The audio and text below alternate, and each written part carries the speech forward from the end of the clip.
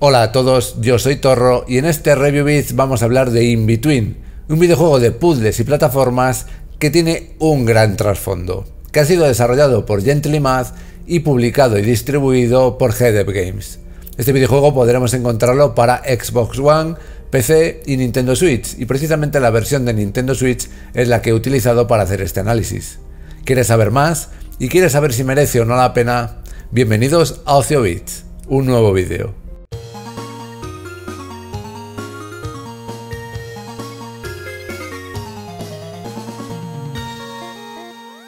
In Between es un viaje hacia adelante, encarnando a un hombre que acaba de descubrir que tiene cáncer.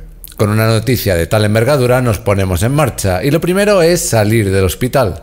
El juego es un diálogo del protagonista consigo mismo, donde deberemos de pasar por una serie de fases sobre una enfermedad tan terrible. La primera fase es la de la negación, donde estaremos escuchando el diálogo que tiene el protagonista consigo mismo durante los 10 primeros niveles acerca de por qué lo que le está pasando no tiene que estar pasándole a él. Estos niveles representan los problemas a los que se está enfrentando esta persona en cada fase, problemas que tiene que superar para seguir avanzando, pero que si no conseguimos resolver, el juego nos permitirá saltárnoslos y avanzar, puesto que la enfermedad sigue caminando y no espera a nadie.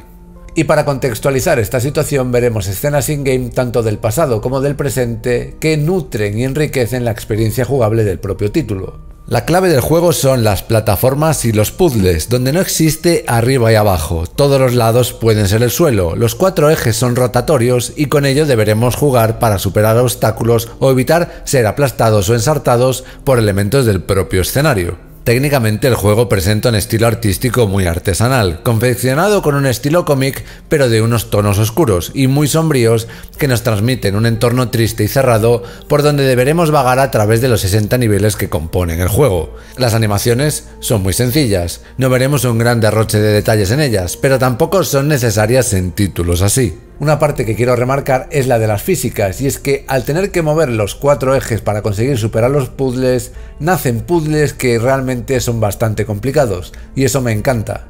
Y hablando de dificultad, ya te aseguro que la tendrás, y en ocasiones puede que resulte frustrante, tómatelo con calma. Respecto a la música no está mal, aunque es muy sobria y obviamente va en sintonía con el juego y su temática, algo acompaña. Los efectos de sonido están bien, y la voz del protagonista es muy atrapante. En cuanto a la jugabilidad, ha habido ocasiones en las que se ha puesto un poco ruda, un poco tosca, ¿de acuerdo? Y eso quizás haya gente a la que le lastre la experiencia jugable que pueda llegar a tener. Además, la historia da que pensar. Es de esos juegos que no son para consumir y tirar, sino para al menos hacerte reflexionar, más allá de la complejidad de los puzzles. Desgraciadamente, el juego está en perfecto inglés, con lo que si quieres disfrutar de él, deberás de tener un cierto nivel en ese idioma. Si solo quieres centrarte en los puzzles, recuerda que son 60 niveles llenos de retos, que quizás en un inicio te parezcan sencillos, pero la cosa se va complicando a medida que avanzamos.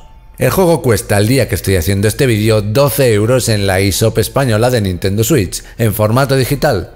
No tiene contenido adicional de pago, lo que compras es el juego completo y no hay previsión de que haya una versión física. Y en definitiva yo le doy un punto positivo. ¿Y por qué? Por todo lo que te he dicho hasta ahora, pero resumiéndolo porque nos encontramos ante un juego de puzzles que te hace reflexionar y por partida doble. El cáncer es una enfermedad terrible y en este juego nos simplifican de una manera bastante entretenida las diversas fases por las que puede pasar un paciente de dicha enfermedad y quizás sirva para que alguien más termine concienciándose de lo que este tipo de enfermedades son y pueden llegar a provocar. Por mi parte he disfrutado del juego y del desafío que me planteaba, un trabajo elegante y original. Si quieres hablar de este o de muchos otros juegos y compartir opiniones mientras conoces nuevos amigos con los que jugar, entra en nuestro Discord. Es la mejor comunidad. Mis análisis están en constante actualización. Revisa el comentario fijado justo aquí debajo para saber si el juego o mi opinión han cambiado desde la publicación de este vídeo. Y como digo siempre, todo hay que analizarlo en función de qué nos promete, qué nos ofrece realmente y a qué precio lo hace. Este ha sido mi análisis de In Between y espero que te haya sido útil.